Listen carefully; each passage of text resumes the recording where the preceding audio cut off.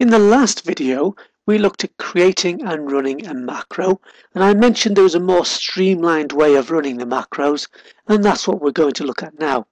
How to assign the macro to a keyboard shortcut or to an icon on your toolbar.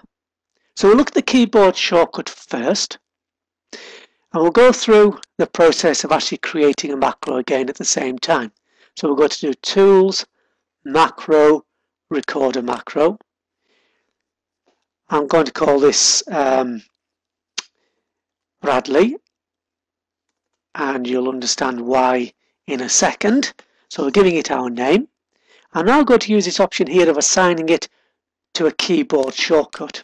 So I'll click on the button and basically in this box here, press new shortcut key, I just press on the keyboard the buttons that I want to assign the macro to. And I'm going to use Control Shift B just be aware that there are a lot of keyboard sh shortcuts already in use in Word.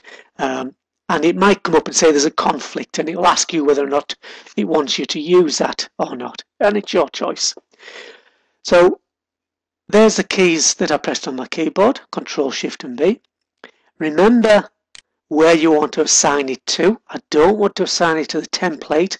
I want to assign it to this document and then we click assign and close that dialog box. And then we're recording the macro now. So I'm just going to go through the process of recording the macro in the usual way. And I'm just going to change the font style to the Bradley hand. See the name Bradley? And I'll change the font size as well. Okay so we can see the effects of that. We'll stop the macro just to show you that it's there, if I go into tools and macros, and there you can see my macro, and of course I can run it in the normal way. But I want to use the keyboard shortcut, so I'll select my words, hold down the Control, Shift and B command, and it changes the font style. Okay, so that's running the macro using a keyboard shortcut. It was Tools, Macro, and when we record the macro, it's remembering to use the keyboard to assign it to. So that was looking at adding a macro to a keyboard shortcut. The next step is to add one to one of the icons on your toolbar, or actually to create an icon on the toolbar or a button on the toolbar. And this is the process. We create the macro in much the same way. Tools, macro, record the macro. We give it a name. Just in the same way, we tell it where to store the macro. And then this time, we're going to use toolbar. So we click on the toolbar button. There's the macro that we're going to create. Now, the basic process is that we click and drag this and drop it anywhere on any toolbar that's currently available. If the toolbar you want is not available there, we can switch to the Toolbars tab and switch on any of the toolbars that we like. We can also create our own new toolbar.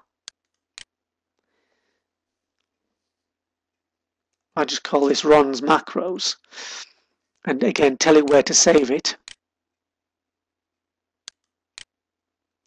There's my new toolbar.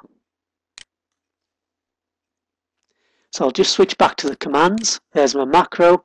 So I can now click and drag this macro onto any of the toolbars or onto my new toolbar.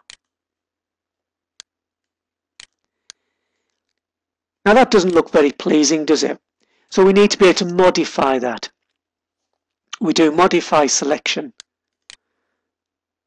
Just make that a little bit easier for you to see. Modify selection. The first thing is we can change the name. And you can see, oops, click back into that, that on my toolbar, the name has now changed to reflect what I've typed into this box. We can also give this um, an image. So we can do change button image and choose one of the images that are there available for you.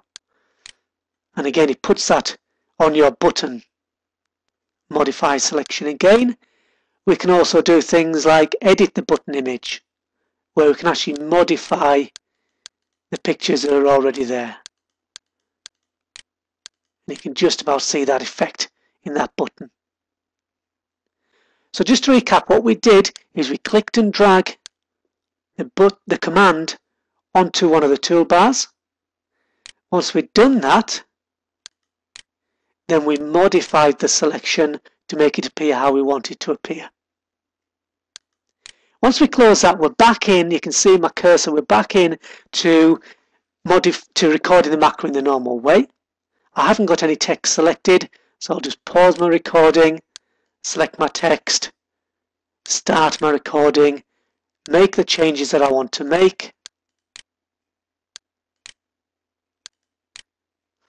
stop the recording.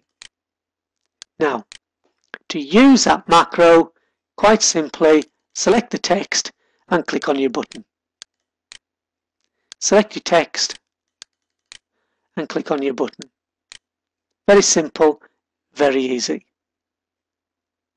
Just while we're on working with these buttons, if I go back into um, customize the toolbars, you can actually work with any of these buttons at any time.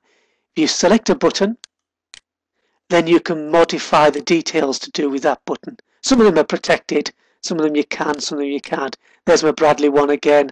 I can go back and make modifications. And also to remove um, a button, you just click and drag it and you can see the cursor change to a cross. That will remove the button from the toolbar. So a little bit of working with toolbars there. Uh, for the purpose of this qualification, all you need is to be able to add to a standard toolbar. You don't need to create your own toolbars.